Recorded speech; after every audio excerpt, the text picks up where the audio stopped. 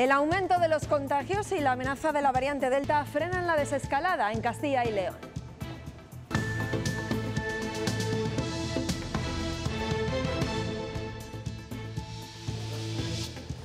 La Junta confirma la tendencia al alza en la evolución de la pandemia y eso va a impedir con casi toda probabilidad que se rebaje el nivel de riesgo a partir del viernes. No estamos aún preparados para entrar en la nueva normalidad.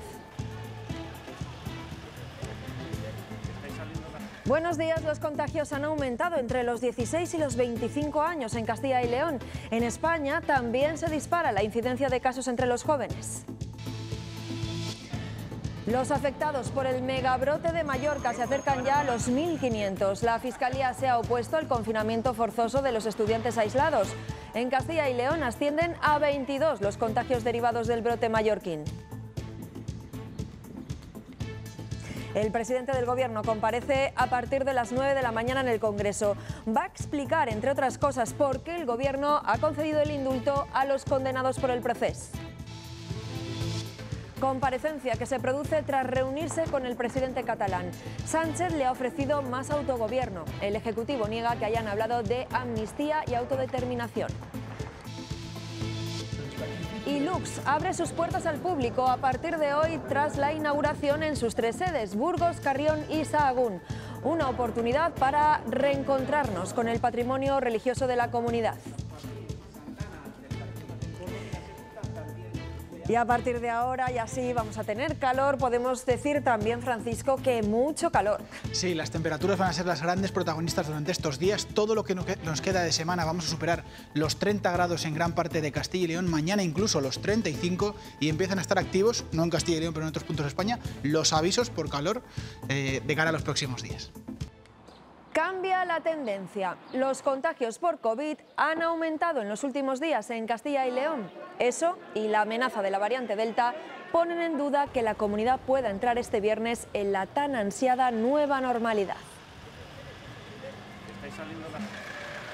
Los contagios se han duplicado con respecto a hace una semana. Las cifras se van a analizar mañana en el Consejo de Gobierno, pero todo parece indicar que Castilla y León no bajará de nivel este jueves no creo que, nuestros indicadores eh, nos determinen que podamos incorporar a esa, incorporarnos a esa nueva normalidad. ¿Lejana? Pues espero que no.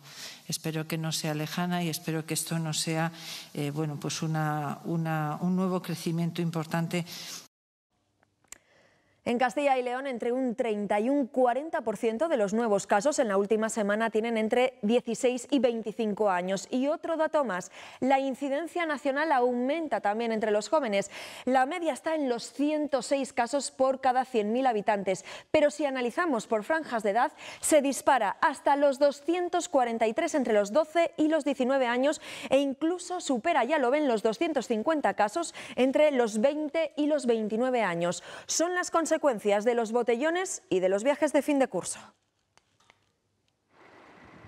Ascienden a 22 los contagios en nuestra comunidad vinculados al brote de Mallorca, al sumarse otros 10 positivos en las últimas 24 horas. Hasta el momento se han detectado 13 en León, 4 en Valladolid, 3 en Segovia y 2 en Burgos. Además, hay medio centenar de personas en vigilancia por haber estado en contacto con estudiantes que han estado en la isla. Desde la Junta se recuerda lo inoportuno de esos viajes. En nuestra comunidad, la indicación de la Consejería de Educación había sido no organizar este tipo de viajes. Y el Gobierno regional pide a aquellos estudiantes que están en otros viajes en Gandía o Tenerife. A la vuelta de este viaje se pongan en contacto a través de sus centros de salud para realizarles una prueba eh, diagnóstica. Se pide precaución mientras siguen creciendo las consecuencias del foco de Mallorca, con más de 1.150 positivos repartidos por 11 comunidades autónomas y cerca de 5.000 personas en cuarentena.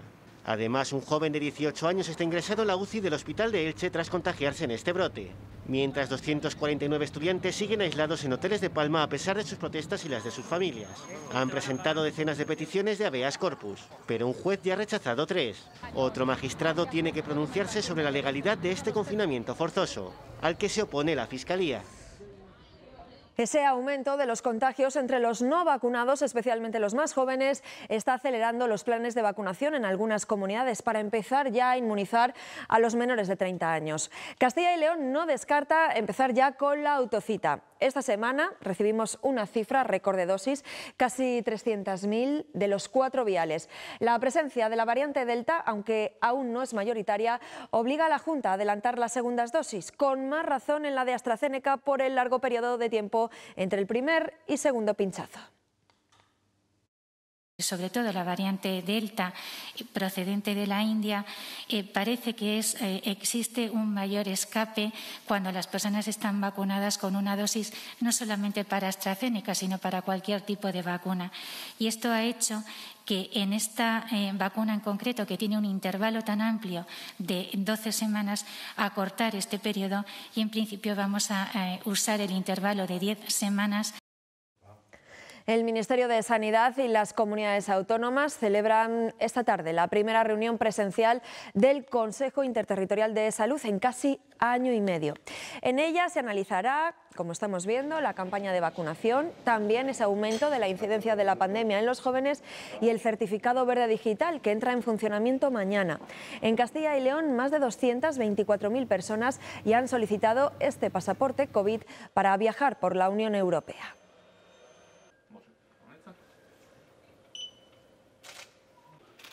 Ovako? Ja. Hoy se han convocado concentraciones de repulsa contra la violencia machista después de confirmarse la muerte de la mujer que fue apuñalada por su marido en la localidad salmantina de Doñinos hace una semana. La mujer, que estaba ingresada en el hospital de Salamanca, no ha podido superar las graves heridas que le produjo su agresor. La joven de 34 años ingresó con pronóstico muy grave y permanecía en la UCI desde el mismo día que sufrió la agresión. Ya son tres las mujeres asesinadas por sus parejas este año en Castilla y León. y ayer era detenido el presunto autor de la muerte de un hombre en Aldea Real, en Segovia. Fue encontrado por la Guardia Civil en un pueblo cercano, Beganzones, a unos 20 kilómetros. Había huido tras apuñalar a la víctima. El ataque se produjo con un cuchillo tras una discusión en una cena familiar. El detenido ha sido puesto a disposición judicial. Y la Guardia Civil ha arrestado a 11 personas en la denominada Operación Volcado. Se han desarticulado dos bandas criminales, una latina y otra nacional, dedicadas a traficar con drogas en Madrid y en la comarca abulense del Tietar. Esta operación arrancó en el mes de noviembre en Candeleda, donde un hombre recibió un disparo en el abdomen que le provocó heridas de gravedad. A partir de ahí, la Guardia Civil comenzó a investigar. Y hay novedades sobre el caso del productor José Luis Moreno, que ha pasado la noche detenido en la comisaría de Moratalaz, en Madrid, después de los registros de la policía y de la Guardia Civil, tanto en su vivienda como en sus empresas.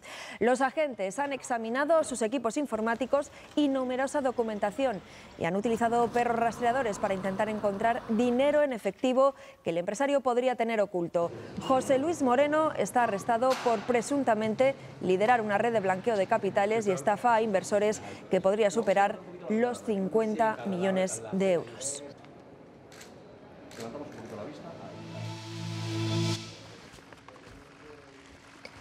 Después de su coincidencia en varios actos en Barcelona, esta ha sido su primera reunión oficial. Pedro Sánchez y Per Aragones se reunieron ayer durante dos horas y media en un intento de destensar las relaciones entre el Gobierno central y el Gobierno catalán. Ha sido la antesala de la mesa de diálogo que se va a celebrar en septiembre y en la que, como ayer, el presidente de la Generalitat dijo, insistirá en la amnistía y la autodeterminación, a pesar de las negativas de Moncloa. Nuestra propuesta es una propuesta de fin de la represión para poder negociar en términos de igualdad y una propuesta de un referéndum sobre la independencia de Cataluña. Sánchez no ha profundizado en ninguna de estas líneas, sino que ha invitado al señor Aragonés justamente a viabilizar propuestas que permitan avanzar. Eh, ambos componentes de este diálogo somos perfectamente conscientes de cuáles son las limitaciones y cuáles son los límites de cada uno. Por cierto, que el presidente del Gobierno, Pedro Sánchez, va a comparecer a partir de las 9 de la mañana en el Congreso de los Diputados. Para, entre otras cosas, explicar por qué el Gobierno ha concedido los indultos a los presos por el proceso. Y la plataforma España Juntos Sumamos ha dado el salto de la política catalana a la política nacional. Está formada por exdiputados de Ciudadanos críticos con la corriente oficial. Anoche, en el programa Cuestión de Prioridades, uno de sus representantes, Ignacio Prendes, explicaba que no pretenden convertirse en un partido político, sino que buscan realizar propuestas y evitar la desconexión entre la política y la sociedad. Lo que pretendemos en primer lugar es generar un espacio de encuentro, un espacio donde los, que piensan diferente puedan hablar y dialogar, algo que ahora mismo, desgraciadamente, en nuestro país eh, parece un, eh, arcano imposible. Lo que estoy hablando es precisamente de la desconexión entre la sociedad civil y la política, y eso es malo, eso es muy malo. Eh, y lo que estoy diciendo es que la sociedad civil tiene que pinchar, tiene que empujar. Y en Valladolid, la vicepresidenta del Gobierno, Carmen Calvo, ha participado en un acto del PSOE. Calvo ha dicho que no es posible construir convivencia sin la reparación de las víctimas del franquismo y ha anunciado la próxima aprobación de la Ley de Memoria Democrática. Por tanto, bajo los principios de la... El Ministerio de Justicia las eleva ¿De qué paz hablan otros? ¿De qué convivencia? ¿De qué concordia? ¿De qué tolerancia? ¿De qué libertad están hablando otros? Nosotros estamos hablando de una muy seria, aquella que tantas veces hemos coreado, que aquí tenemos que caber todos, que va a abrir un debate en este país para que todo el mundo se retrate María Dolores de Cospedal ha reconocido que se reunió varias veces con el comisario Villarejo en la sede del Partido Popular de la calle Génova. Lo ha hecho en su declaración en la Audiencia Nacional como imputada por varios delitos en la Operación Kitchen. Sin embargo, la exsecretaria general del PP dice que solo le pidió a Villarejo información sobre filtraciones a la prensa y que jamás le hizo ningún encargo relacionado con el espionaje al ex tesorero popular Luis Bárcenas.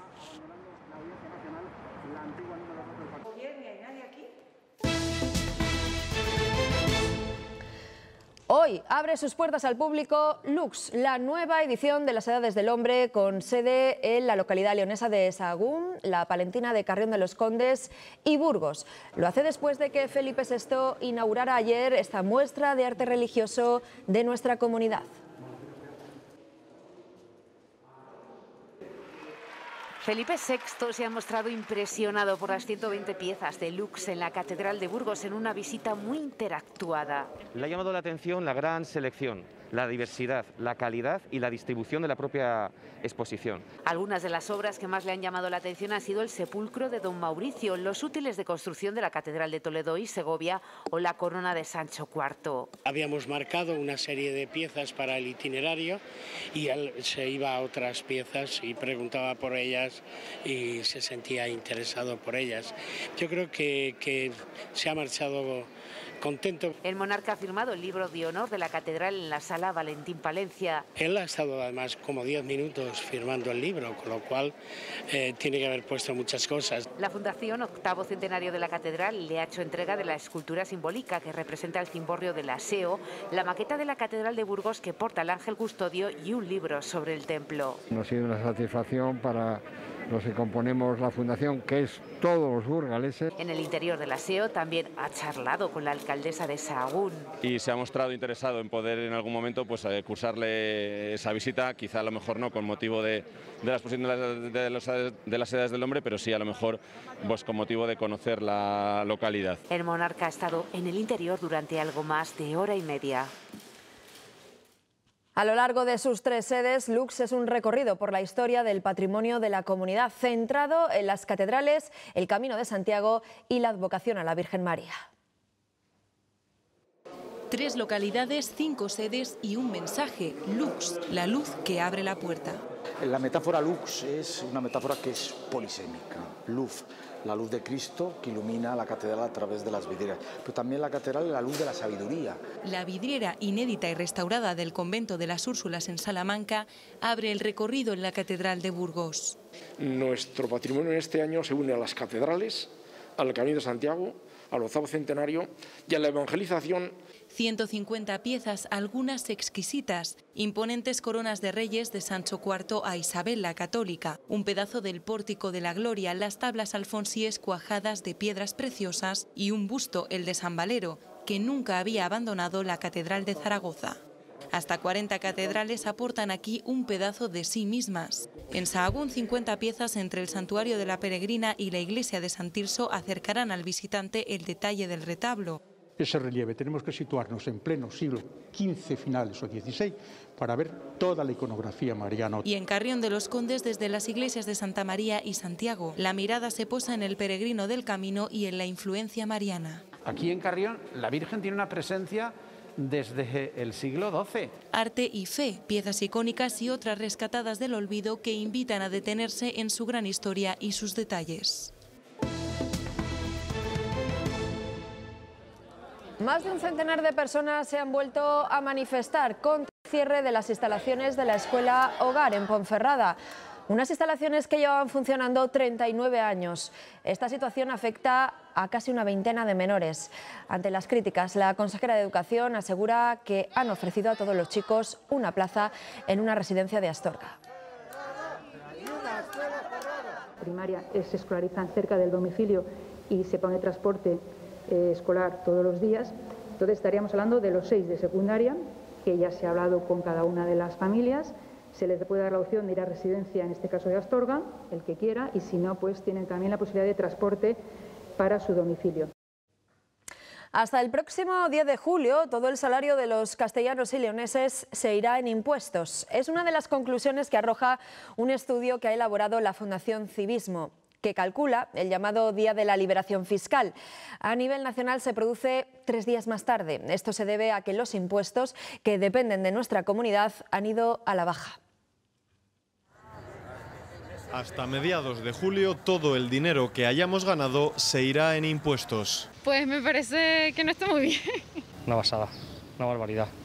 Así vamos. Este punto y aparte corresponde con el llamado Día de la Liberación Fiscal, que establece un estudio de la Fundación Civismo y que depende de territorios. Este año en Castilla y León será el próximo 10 de julio y a nivel nacional el día 13. Lo que pone en valor es cuántos impuestos paga eh, un ciudadano poniendo en relación eh, cuántos días de su salario anual eh, son necesarios para pagar todos los impuestos que tiene cada año. Las cotizaciones sociales suponen unos 100 días de salario, seguidos por el impuesto de la renta. Son el impuesto al trabajo más potente, el que más impacto tiene, pero el más silencioso para todos. A esto hay que sumar los asociados al consumo y la aparición de nuevos impuestos especiales como el digital o de energía verde, que también influyen. Ahí es donde se va, a producir la mayor subida fiscal de los próximos años. Pues entonces vamos muy mal. si tenemos muchos impuestos que dicen y luego tenemos el sueldo muy también incluso bajo, a ver quién se come eso. Además, según este estudio, los jóvenes españoles que se incorporan al mercado laboral pagan en proporción muchos más impuestos que la media europea. Ya hay fecha para la convocatoria de las ayudas al alquiler de este año. El Boletín Oficial de Castilla y León las publicará mañana jueves. A partir de entonces, las personas interesadas tendrán un mes para solicitarlas. El presupuesto de estas ayudas supera en esta ocasión los 15 millones de euros y en caso necesario podría ampliarse con otros 7 millones. La principal novedad este año es que habrá una lista única de beneficiarios sin reservas, como ocurría hasta ahora. Que la pandemia ha hecho mella en nuestra vida diaria es un hecho palpable. Así lo confirma el barómetro del CIS. Según el sondeo del mes de junio, 7 de cada 10 encuestados echan de menos salir a cenar fuera, al cine o al teatro. Y más de un 73% reunirse con la familia. Para acortar esa distancia, el 77% afirma que ha realizado videollamadas en los últimos seis meses. Se ha confirmado. Los buitres localizados en estado agonizante en Monterrubio de Armuña, en Salamanca, hace una semana sufrieron envenenamiento. Así lo determinan los primeros análisis que se han efectuado que señalan el uso de carbofurano, un pesticida muy potente que está prohibido en la Unión Europea. Continúa, por tanto, el análisis para rastrear otros posibles restos tóxicos. Toda la información está siendo remitida a la Fiscalía por una posible responsabilidad penal. Han fallecido 60 buitres y otros 40 están en recuperación.